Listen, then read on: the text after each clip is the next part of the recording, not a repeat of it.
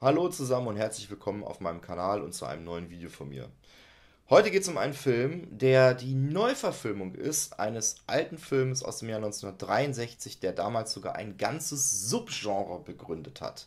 Die Rede ist von Bloodfeast, vom Godfather of Gore, Herschel Gordon Lewis, der auch solch andere namhaften äh, Splatterfilme inszenierte wie 2000 Maniacs, The Gruesome Twosome oder Me äh, Blood Red. Ja, aber mit, Bloods, äh, mit Bloodfeast, damit äh, hat alles begonnen sozusagen. Der erste offizielle durchgehende Splatter-Film.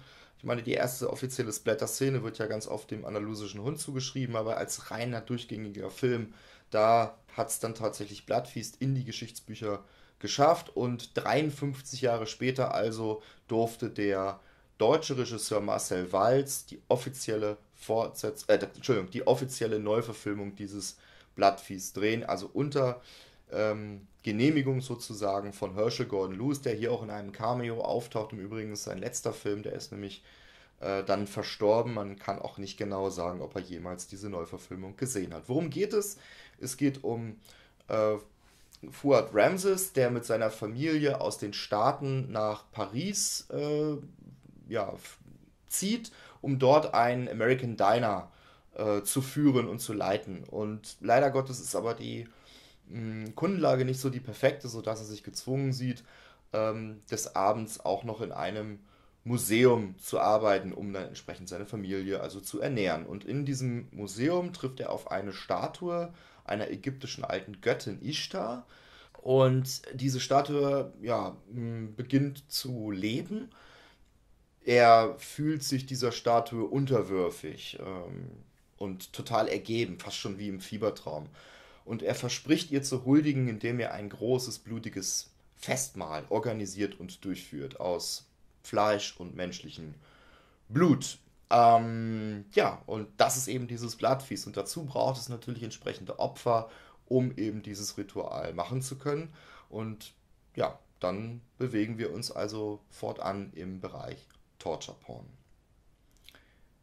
Im Vergleich zum Originalfilm, der nahezu nicht wirklich eine Handlung hatte, oder man könnte frei nach Friedrich Merz sagen, die Handlung passt auf einen Bierdeckel, nimmt sich das Remake hingegen etwas mehr Zeit, die Figuren einzuführen. Ungefähr 30 Minuten muss man investieren, um die Schauspieler respektive die Figuren kennenzulernen, was ich aber auch nicht sonderlich schlimm finde. Natürlich hätte man hier und da das Ganze noch ein bisschen ja, sportlicher inszenieren können, ein bisschen knapper halten können. Aber immerhin hat man versucht, dem Ganzen eine Handlung zu geben, was wie gesagt der Originalfilm eigentlich nicht wirklich hat. Schauspielerisch ist dieser Film, wie ich finde, sehr gut besetzt. Man hat hier in der Hauptrolle Robert Russler, der bereits in der Stephen King-Verfilmung Manchmal kommen sie wieder zu sehen war oder in Nightmare 2 Die Rache. Ihm zur Seite steht Caroline Williams, die war die Stretch in The Texas Chainsaw Massacre. Und Caroline Williams war es übrigens auch gewesen, die der Produktion ähm, den Robert Russler empfohlen hat. Eigentlich war nämlich für die Hauptfigur jemand anders im Gespräch. Und warum hat sie diesen Herrn empfohlen? Die beiden waren nämlich sogar schon mal als Pärchen zu sehen in dem Anthologiefilm Tales of Halloween, den ich auch auf diesem Kanal bereits besprochen hatte. In der Figur der Ishtar, dieser ägyptischen Göttin, sehen wir äh, Sadie Katz aus Wrong Turn 6. Und äh, des Weiteren ähm, im Film zu sehen sind Sophie Monk, die spielte in dem Horrorfilm The Hills Run Red mit. Äh, wir haben, wen haben wir denn noch? Wir haben natürlich Lichtgestalt Annika Kraus, weil das ein Marcel Walz-Film ist und da spielt Annika immer mit. So also auch hier, es gibt, äh, ah ja, eine weitere äh, Dame, äh, Liliana Nova heißt die Frau. Jetzt stellen sich vielleicht einige die Frage, hm, Liliana Nova, wer ist denn das? Vielleicht sagt euch der Name Liliana Matthäus etwas.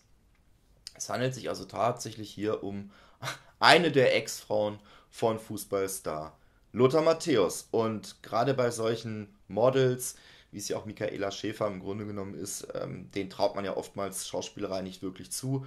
Aber sowohl Michaela hat in Lipitimor 2 äh, bewiesen, dass sie es kann. Und ähm, die Liliana Nova macht es hier, wie ich finde, auch relativ gut. Ja, für die Intro-Sequenz nochmal ganz interessant am Rande zu erwähnen, da fehlte eine Schauspielerin und der Robert Russler hat dann also in dem Hotel, wo man gedreht hat, einfach die Rezeptionistin gefragt, hey, möchtest du nicht einfach, äh, möchtest du nicht mal in einem Film mitspielen? Du würdest super, optisch super dazu passen. Es gibt nur eine Bedingung, ähm, du musst nackt sein.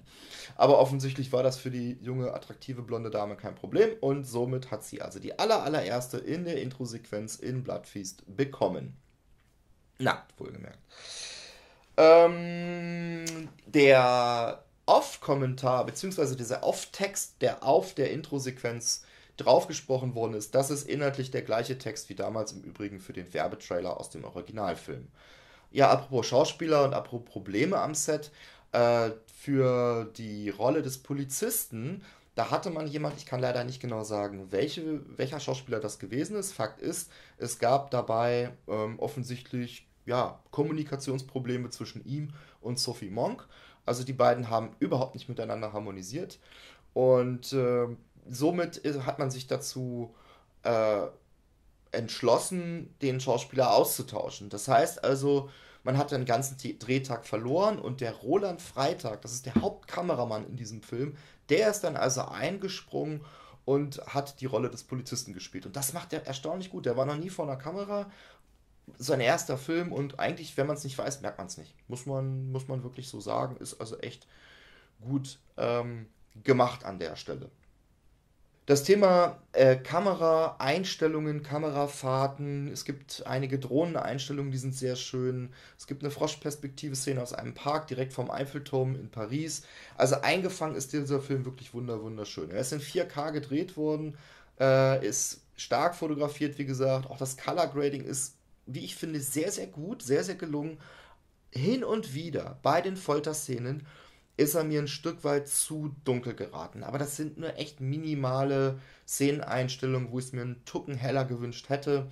Ansonsten von der Ausleuchtung her und so weiter überhaupt nichts zu bemängeln. Klaus Freudner, Pfleutner, Freudner heißt er, glaube ich. Nennen wir ihn Klaus. Klaus hat den Soundtrack gemacht, den Score, und das überragend gut. Also die Filmmusik ist bärenstark. Gibt es sogar äh, als Soundtrack auf äh, Amazon zu kaufen. Äh, ist aber auch in dem Mediabook, was ich euch gleich zeigen werde, hier als 4-Disc-Set ähm, komplett enthalten.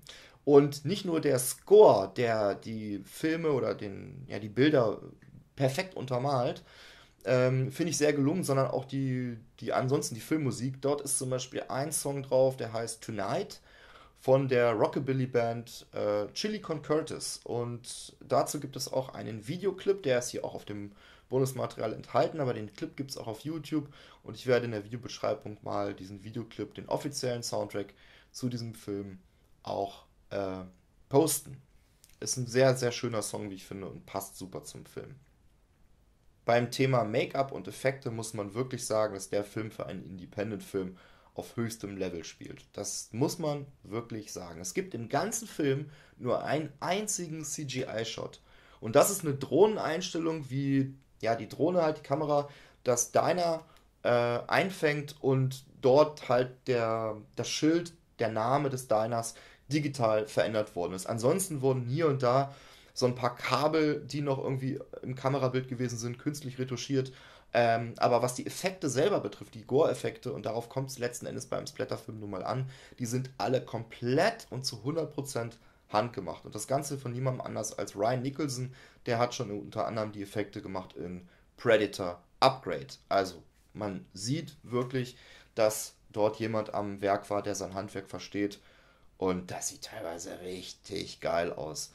Ähm, also ja, ich weiß nicht. Äh, ich habe es jedenfalls noch nie gesehen, dass eine, dass ein Stück Steak sozusagen, ein Stück Fleisch aus einer Arschbacke herausgeschnitten worden ist. Das war mir zumindest neu.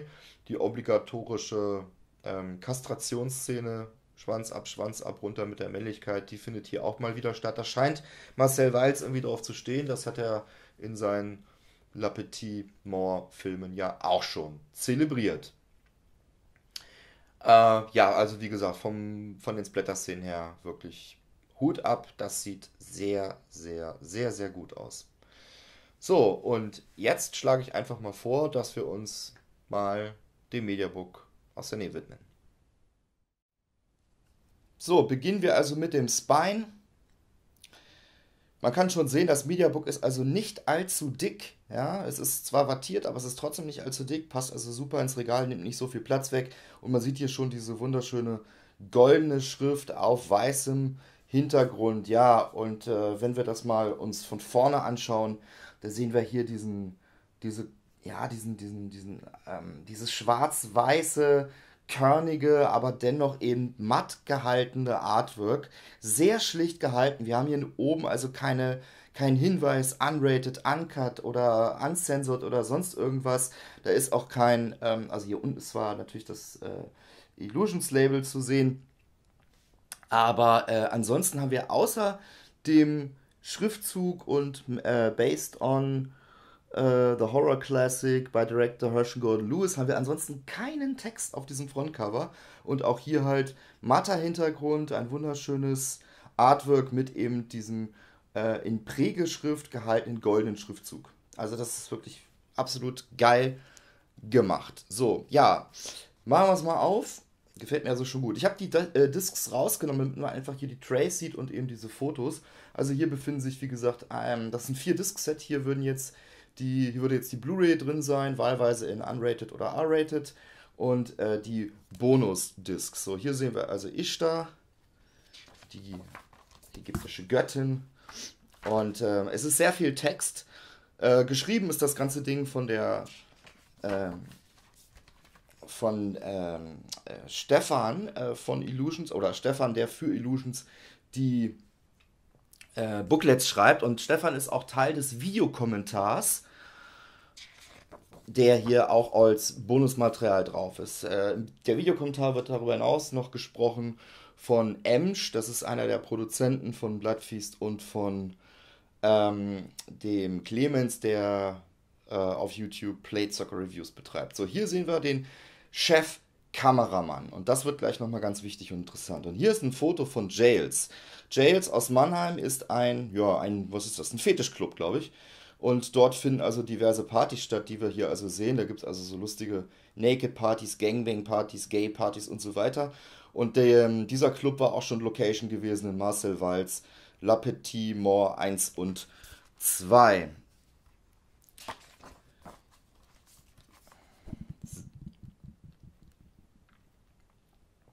So, und hier sehen wir den Kameramann also nochmal. Und wie man erkennen kann, hat er auf einmal eine Polizeiuniform an. Warum denn das?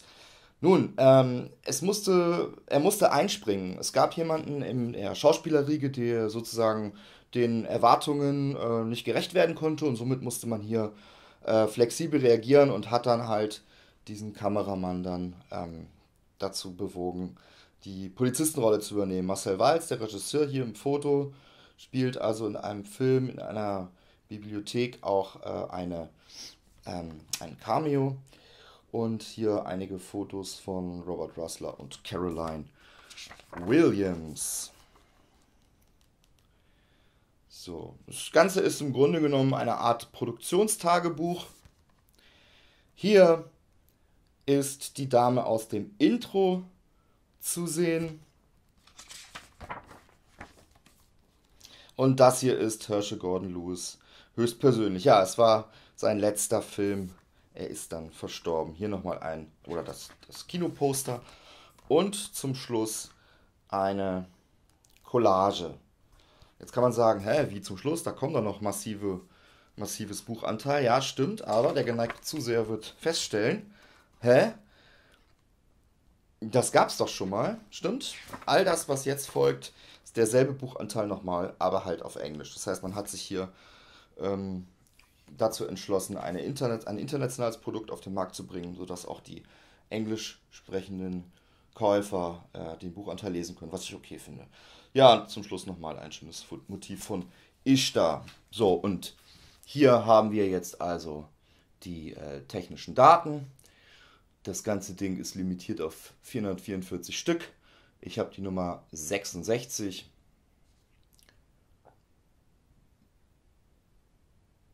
Ja. Also wie gesagt, ein sehr, sehr schönes Teil. Zum Bonusmaterial vielleicht nochmal ganz kurz. Äh, es gibt auch die, ja, es gibt natürlich ein Making-of, ist klar. Ähm, die Kinopremiere ähm, in LA, da kommen so einige äh, Macher nochmal zu Wort. Das Ganze ist auf Englisch.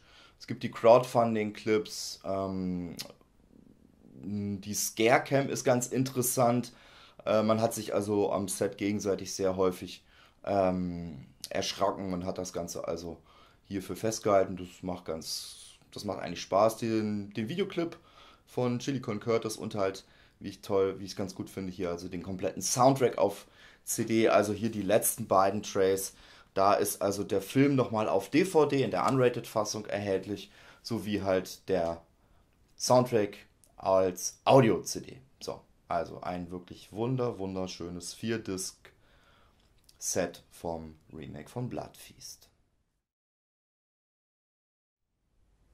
So, was soll ich denn jetzt noch über Marcel Walz Bloodfeast aus 2016 sagen? Außer vielleicht, dass er unrated 98 Minuten läuft und R-rated entsprechend 2 Minuten kürzer. Es gibt übrigens noch von Tiberius eine FSK 18er, die natürlich noch weiter gecuttet ist, die wir aber an der Stelle, glaube ich, überspringen können.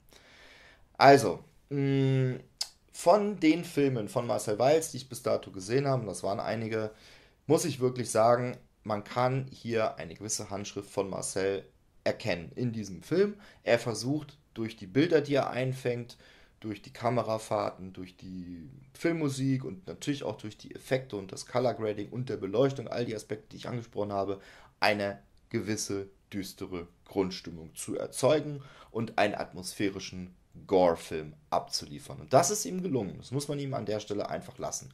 Nun ist es aber trotzdem so, dass nun mal auch trotzdem er den Figuren entsprechenden Raum gegeben hat, sich zu entfalten, die Geschichte nicht so ja, ausgiebig ist. Das ist einfach Fakt. Insofern hätte ich es lieber gesehen, wenn der Film eine Laufzeit hätte wie etwa La Petite Mort 2, also etwas mehr als 80 Minuten. Das hätte gereicht.